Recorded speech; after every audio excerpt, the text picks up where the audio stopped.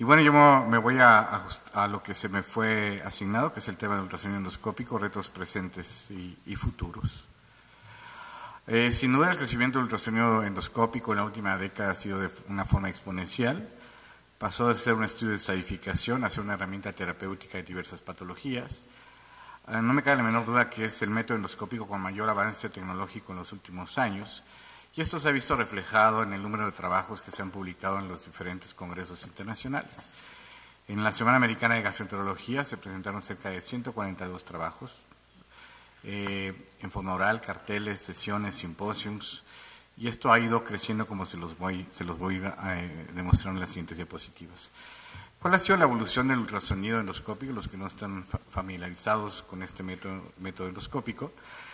Y partimos del año 2000, donde se contaban con los primeros equipos mecánicos y las minisondas, que así se empezó a trabajar en los diferentes centros endoscópicos. Viene el advenimiento del ultrasonido endoscópico con método Doppler, y los americanos dicen, eh, the issue is the tissue, el objetivo es el tejido, y ya con el método lineal se pudo lograr esta, eh, este, final, o sea, tener el tejido y el diagnóstico de la, de la enfermedad. Y en nuestros días tenemos esta combinación del ultrasonido endoscópico con métodos de fluoroscopía o con otros métodos de, endoscopía como puede ser la CEPRE. ¿Para qué? Para atacar la enfermedad, para hacer eh, mucho más terapéutico este procedimiento. Y les voy a demostrar los trabajos que se presentaron en la última década de ultrasonido endoscópico. Partimos del año 2000, 2006, donde se presentaron cerca de 30 trabajos, hace 10 años, en el año 2010, 70 trabajos y en esta AGA se presentaron 142 trabajos en relación al ultrasonido endoscópico. ¿Cuál es la variante en esta, en esta diapositiva que les quiero demostrar? Que antes se hacían mucho más estudios de estadificación, de diagnóstico de ultrasonido endoscópico y actualmente se presentan más trabajos en relación a un ultrasonido terapéutico. ¿Cuáles son las aplicaciones actuales del ultrasonido? Sabemos que eh, nos sirve para hacer un diagnóstico de estadificación mediante magia de ultrasonido endoscópico de cualquier patología gastrointestinal, habitualmente neoplásica, que puede ser desde esófago, estómago, mediastino, incluyendo mediastino, eh, vía biliar, páncreas, que es la reina del, del ultrasonido endoscópico, y hasta en colon. Y tenemos el diagnóstico y estadificación mediante biopsia y aspiración de aguja fina. Y en la parte terapéutica no ha tenido ese enorme crecimiento. En páncreas se, puede, se pueden ya realizar drenaje de colecciones pancreáticas, bloqueo del tronco celíaco, punciones de lesiones quísticas, aplicaciones de agentes antitumorales y ablación, en estómago aplicación de coils en varices gástricas, en, varice, eh, en vía biliar derivaciones bilodigestivas que puede ser una hepatogastrostomía, una coleocodonostomía por mencionar algunas, y en colon ya se está aplicando desde hace varios años en el drenaje de colecciones. Y por eso les voy a presentar seis trabajos, que son seis trabajos aterrizados a nuestro medio ah, y aplicables en nuestro país. Y con mucho gusto les presento el primer trabajo, que es eh, los dos primeros trabajos, que son de, grupos mexicanos. El primer trabajo es del doctor, del, doctor Félix Telles, del grupo de nutrición, donde está Miguel Ángel Ramírez y tienen otras gentes entrenándose, donde ellos presentan y evalúan la sensibilidad diagnóstico citológico, complicaciones e impacto clínico en lesiones hepáticas eh, sólidas por medio, por medio del ultrasonido endoscópico con biopsias de aspiración y aguja fina. Es un estudio retrospectivo en un periodo de análisis de siete años. Todos los pacientes contaban con estudios previos de ultrasonido, tomografía, resonancia magnética previa a su ultrasonido endoscópico. se realizaron 70 procedimientos en 68 pacientes, la localización de las lesiones en, en el lóbulo izquierdo 39, en el lóbulo derecho 29, 40% eran mujeres, es la edad promedio, y el tamaño de las lesiones varían de entre 3 a 5, a, 3 centímetros a más, menos o 8 milímetros más. Se establece el diagnóstico de malignidad en el 85%, nueve casos fueron benignos y en dos casos no hubo diagnóstico.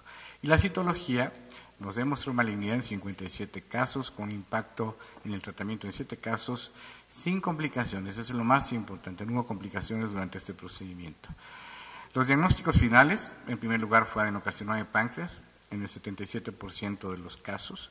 Los pacientes con más de una lesión, pues evidentemente eran lesiones, eh, eran pacientes que tenían lesiones o enfermedad maligna metastásica, que correspondían al 60% de, eh, eh, de los casos. Y ellos concluyen que la biopsia con aspiración por ultrasonido endoscópico en lesiones hepáticas es un procedimiento seguro, con buena sensibilidad y que puede impactar en el manejo de los pacientes. Y esto habría que compararlo con las biopsias percutáneas o las biopsias guiadas por fluoroscopía o alguna otra técnica o de la paroscopía, que evidentemente aumenta el costo. todos, estos eh, eh, procedimientos se hicieron en forma, en forma ambulatoria. Este es un ultrasonido que les muestro. No se ve muy bien definida esta lesión, pero lo que sí se ve es la aguja, cómo se va insertando a través del estómago. Se inserta a través del estómago, toma lesión, se hacen varios pasajes y se toma, y se toma lo que es el tejido con, con ah, poco índice de complicaciones y bastante, bastante seguro, un tratamiento ambulatorio que el paciente se ir a su casa en tres horas. El siguiente trabajo, y no menos importante, es del grupo del INCAN, de la doctora María Fernanda Torres, donde eh, eh, también participa el doctor Manuel Mora, el doctor Octavio Alonso y la doctora Angélica Hernández, que es un, trabajo que se hizo bastante interesante. Eh, y ellos comparan el drenaje biliar por ultrasoninoscópico versus el drenaje percutáneo en, pacientes con CEPRE fallida. Son pacientes que tenían CEPRE fallida, sabemos que existe un por ciento de pacientes que pueden tener CEPRE fallida. Eh, lo dividen en dos grupos, grupo A, ultrasonido, y grupo B, drenaje percutáneo. Ellos estudian las variables eh, edad, sexo, estado funcional, periodo de seguimiento, bilirrubina, sitio de la obstrucción, éxito clínico, y técnico, complicaciones tempranas y tardías, así como reintervenciones. Y los resultados son bastante interesantes. Eh, en, si comparamos el ultrasonido versus el drenaje percutáneo, y si hemos tenido nosotros la experiencia de estos dos métodos, o la experiencia del drenaje percutáneo, donde evidentemente la calidad de vida de los pacientes es bastante limitada, ellos comparan 37 pacientes versus 55 pacientes de drenaje percutáneo. El éxito técnico para ultrasonido fue el 90.7 contra complicaciones tardías del 16.6% y reintervenciones del 8.5%. Si lo comparamos evidentemente contra el drenaje percutáneo, es mucho, eh, mucho mejor el ultrasonido endoscópico que el drenaje percutáneo con PES significativas.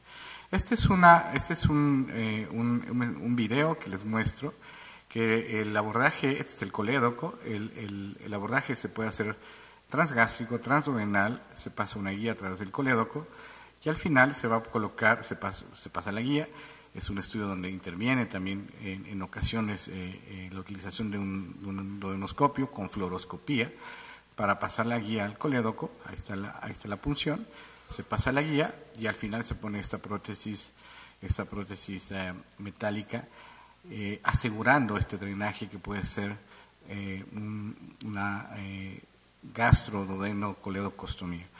Y entonces ya tenemos al paciente derivado y evidentemente la calidad de vida de este paciente va, a cambiar. Y en, este, en estos últimos segundos de este video mostramos cómo queda la prótesis, se pasa la guía y tenemos um, paliado al paciente, que son pacientes que realmente lo que está buscando es una mejor calidad de vida. El siguiente paciente, el siguiente estudio, que también participa un médico mexicano, que es el doctor Nero Salas, que estuvo en el grupo de Valdebrón de Barcelona, del doctor Armengol, que es algo novedoso, pues eh, se los presento para que lo conozcan, eh, veremos si tiene una utilidad a futuro. Es determinar la utilidad clínica del ultrasonido endoscópico con elastografía, tanto en forma cualitativa como cuantitativa, para el diagnóstico de pancreatitis crónica. Es un estudio prospectivo y consecutivo de un poquito más de un año. Se excluyeron aquellos pacientes con tumores o quistes pancreáticos. El procedimiento se llevó a cabo con un Ferrari del ultrasonido endoscópico, ultrasonido Premier Plus con 15 tantas cosas. Y se evaluó la cabeza, cabeza, cuerpo y cola de páncreas, así como se tomó un promedio de las tres mediciones. Se basaron en la clasificación de Rosemont, que es la clasificación de Rosemont, eh, donde tienen criterios mayores y tienen criterios menores, como focos hipercogénicos, cosombra acústica, litiasis en el conducto pancreático, o lobularidad en panal de abeja, que es muy, muy característico de los pacientes con pancreatitis, pancreatitis crónica. El diagnóstico econdoscópico se basó en los criterios mayores y criterios menores, y los resultados fueron los, los siguientes. 77 pacientes, páncreas normal 26 casos, indeterminado para, pancreatitis crónica 22, sugestivo en 9 casos y pancreatitis crónica en 20, o sea, un, cuarto de los pacientes. Eh, considerando, y acá nos hablará el doctor Stoppen de, la posibilidad de, este método ecoendoscópico con un plus que puede ser la elastografía, pues puede ser una buena modalidad. Yo creo que ya estando con, si se tiene este recurso, pues habrá que aplicarlo y se puede hacer elastografía pancreática, se puede hacer elastografía hepática, se puede hacer elastografía esplénica mediante el ultrasonido y habrá que sacarle una mayor, mayor provecho a este método. Este método es eh, un ecoendoscopio donde se mete, así como se aplica el, modo Doppler, se aplica el modo de elastografía. Este es un paciente con una lesión pancreática, ahí se ve, evidentemente está la lesión pancreática. Lo azul es lo duro, y ahí se ve azul, y se compara con el tejido adyacente. Es un método de elastografía. Mm, no, no sé si en México se cuenta con algún equipo de elastografía en nuestro país. Y en este caso es un paciente con una pancreatitis crónica que se ve totalmente con lesiones eh, quísticas intraductales y, donde se aplica el modo de elastografía y entonces alcanzamos a ver totalmente la dureza, la dureza del páncreas.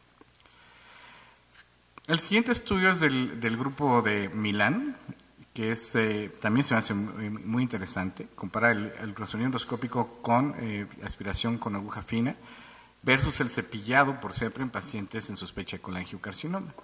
Es un estudio retrospectivo con un periodo de análisis de dos años. Todas las muestras obtenidas fueron analizadas en el sitio por un citopatólogo experto, que es una, una de, los, de los sueños eh, guajiros que, todo econdoscopista quisiera, tener un citopatólogo experto en su centro.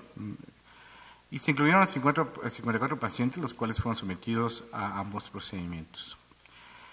Todos sabemos la sensibilidad del cepillado en pacientes con colangiocarcinoma. Y por más que se hace, y por más que se mejora la técnica, y por más lo que, lo que ustedes me digan, la sensibilidad es cercana al 58-60%. En este caso, con la aspiración con aguja fina de la lesión, se logró una sensibilidad del 86%. Fue más sensible y preciso en lesiones con, con presencia de tumores, vegetaciones intraductales, así como nódulos sólidos el cepillado fue superior en aquellos, en aquellos casos en donde existía un engrasamiento de las paredes ductales. ellos concluyen que en casos de sospecha de colangiocarcinoma, el ultrasonido con biopsia de aspiración ofrece un diagnóstico preciso, más preciso, y dependiendo del tipo de lesión es mucho más certero que el cepillado por CEPRE. Debería de considerarse como un estudio de primera línea en pacientes con este grupo de, este grupo de patología. Sabemos que, no sé, que estamos bastante limitados, al menos en nuestro país, en el número de equipos de ultrasonido endoscópico. Aquí les pongo una, comparación de, un paciente con una lesión de un colangiocarcinoma visto por ultrasonido endoscópico versus la CEPRE.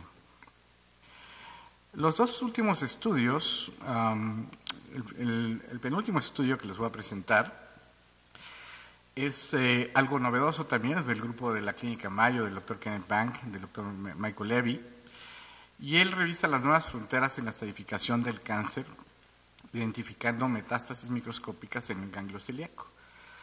El objetivo era demostrar que el ultrasonido con biopsia y aspiración del ganglio celíaco puede detectar tumor microscópico y diseminación de la enfermedad y correlacionarlo con los hallazgos de imagen de métodos no invasivos como puede ser la tomografía o la resonancia magnética. Es un estudio retrospectivo de 11 años, se incluyeron a 191 pacientes los resultados son los siguientes. El diámetro del ganglio celíaco fue de 14 por 5 milímetros en promedio. La citología positiva, de, y ahorita les voy a demostrar cómo se hace la punción del ganglio celíaco. La citología positiva fue, pues, fue en 36 casos, citología sospechosa en 9. Tumor primario en casi la gran mayoría de los pacientes fue páncreas, 24 casos. Y lo interesante es que en 16 casos se modificó el estadio, y en seis casos, y en seis eh, se cambió el tratamiento establecido o previamente establecido. Ellos concluyen que el ultrasonido puede identificar de forma segura metástasis del ganglio celíaco en un aspecto muy amplio de tumores malignos. En todo paciente que tenga algún tipo de tumor maligno, ya sea estómago, hígado, páncreas, eh, viabilidad, tenemos que buscar el ganglio celíaco, impactando en la estadificación y tratamiento futuro en este grupo de enfermos. Este es el primer video que les enseño, que es con método Doppler. Este es el, ahorita les voy a enseñar lo que es el, ganglio celíaco como tal, es el tronco celíaco. Es, eh, eh, em, en, esta, en este ultrasonido pues, se ve que es un ganglio celíaco de forma irregular, que está bastante grande, y que seguramente es secundario a una lesión, a una lesión tumoral maligna. Y en este video les enseño cómo se hace eh, esta punción del plexo celíaco. Con un econdoscopio de tipo lineal, se pasa la aguja. Eso es, eso es un, un, video de una neurolisis del plexo celíaco. Pero en este caso, lo que les quiero enseñar es eso, se pasa la aguja, se detecta dónde está el plexo celíaco, se empieza a irrigar o se, puede hacer eh, biopsias por aspiración.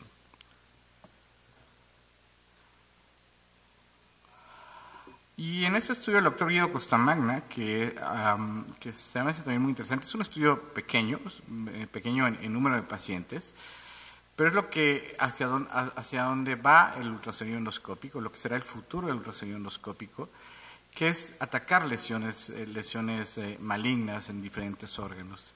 El grupo de Roma Italia presenta su experiencia de ultrasonido con ablación, con láser en, en adenocarcinoma avanzado que no responde a, quimioterapia, que está, están en estadios 2B y 3, o sea que están afectando ganglios o que están afectando a vasos. Se incluyeron a siete pacientes, los cuales fueron sometidos a ultrasonido con ablación con Jack Láser. El Jack Láser se ha utilizado en una eh, enorme cantidad de, situaciones eh, eh, plásticas, dermatológicas, oftalmológicas, urológicas. En este caso, es la experiencia del, doctor Guido Costa Magna para utilizar el Jack Láser en lesiones tumorales. se realizó estudios de laboratorio TAC y contrastadas a las 24 horas, a los 7 a los 30 días posteriores al tratamiento, midiendo el diámetro de la lesión tratada. La media de edad de 71.4 años, se midió el tamaño de la lesión y esta se modificó dependiendo de la energía aplicada. En, estos casos donde se aplicaba la lesión, porque no hay ningún, ningún video que podamos obtener, al menos de este tratamiento en pacientes con ablación en, lesiones pancreáticas, se ve que a mayor, a, mayor aplicación de energía y a mayor fuerza de los joules, pues el efecto en, en el páncreas era mucho mayor. Ellos comparan varios parámetros de energía y de aplicación. Eh, no se registran complicaciones durante o después del procedimiento ni alteraciones de los laboratorios de control. Dos pacientes fallecieron al día 21 y al día 30 por progresión de la enfermedad y el resto de pacientes continúan con vida en seguimiento de a uno a ocho meses. O sea, es, un estudio y un reporte preliminar de una, de una eh, herramienta terapéutica novedosa. Entonces habrá que, que ver eh, cuáles son los próximos reportes a futuro de este método. El ultrasonido con ablación con láser en pacientes con adenocarcinoma de páncreas eh, no resecable y que son resistentes a quimio y a radioterapia es un tratamiento seguro y habrá que esperar más estudios para sus potenciales beneficios. Esto es el, se, pasa la sonda a través de la aguja de punción, se llega al páncreas y se hace la ablación de esta lesión. Habrá que esperar eh, nuevos resultados. Y ya para concluir, los mensajes que les quiero dejar es que el crecimiento del ultrasonido es evidente y se reconoce su incremento en el número de publicaciones a nivel mundial, que pasó de ser un método exclusivamente diagnóstico a ser una herramienta terapéutica resolutiva, es la parte importante del ultrasonido endoscópico. Continuaremos experimentando y conociendo nuevas aplicaciones del ultrasonido, así como sus diferentes innovaciones tecnológicas. A veces es muy caro hacer un procedimiento derivativo eh, en, hospitales federales donde no se cuenta con los recursos, donde se tiene que comprar una, aguja, donde se tiene que comprar una prótesis metálica, pero bueno, habrá que establecer algún tipo de, convenios para esto. Y el futuro del ultrasonido endoscópico es sumamente prometedor. En nuestro país existen pocos centros, cada vez habrá más gente entusiasta que quiera hacer ultrasonido endoscópico, y se reconoce la necesidad del ultrasonido en cada unidad de endoscopía, al menos en los hospitales de concentración. Muchas gracias por su atención.